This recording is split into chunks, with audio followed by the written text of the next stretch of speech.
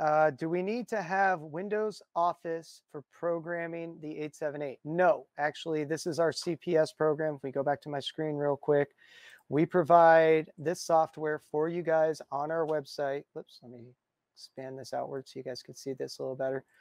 Um, this is our own software, uh, not our software, but Anytone software specifically for our radios that we use.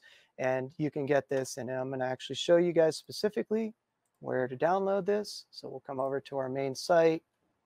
Let me go back. and go to our support site. Now on the left-hand side here, as you guys saw, I clicked on all articles.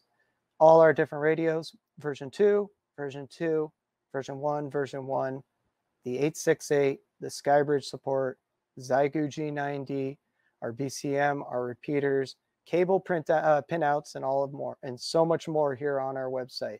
So all you got to do is for the 878 UV2 Plus specifically, click here, and here's your latest firmware to download and install.